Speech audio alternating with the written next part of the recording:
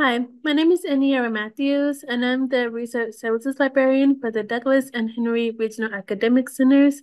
And today I will be showing you how to find primary resources in primary search. So to get to primary search, you're going to go to the library website, which is libraries.mercer.edu. And then once you get to the homepage, you're going to go to databases A through Z.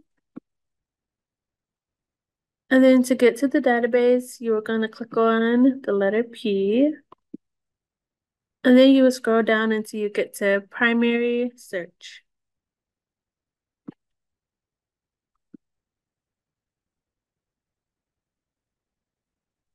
Okay, so this is what the database looks like. And let's say you I wanted to find primary resources about Reconstruction. So I'm going to type in Reconstruction in the search box. And then if I scroll down, I am going to look for primary source document up under this publication type box. And then I will just hit search. Okay, so now you should get a list of resources that come up.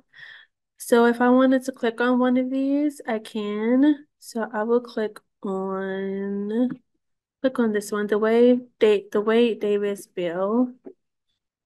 And once I click on it, it will give me the full document. So I can read the full text right here, or I have the option to listen to the to the text as well.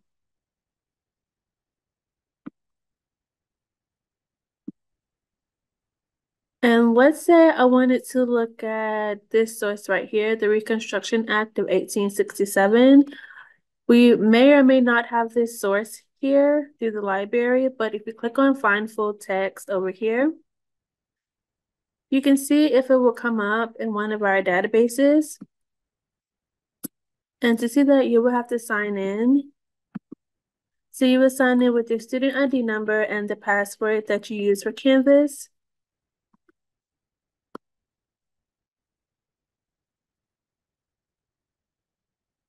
And then you'll be able to see if we have it available or not. In this case, we don't have it available, so you will have to request it through Interlibrary Loan or ILL.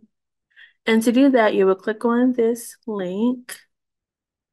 And then you should be directed to the ILL page right here. The information is already filled in for you. And you would just check this box up here. And then you will hit submit.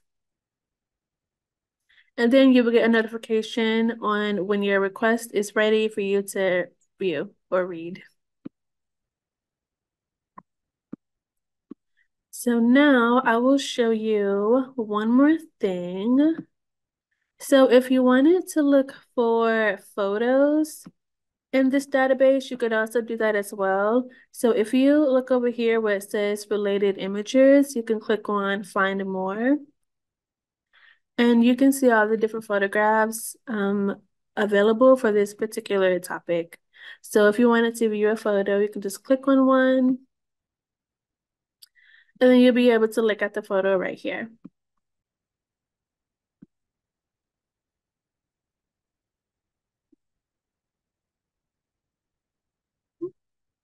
And that is how you use primary search.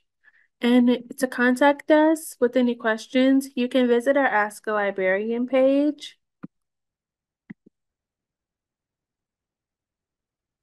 And you can live chat with us. You can set up a research consultation. You can email us, or you can call us at any one of these numbers over here. Thanks for watching. Bye.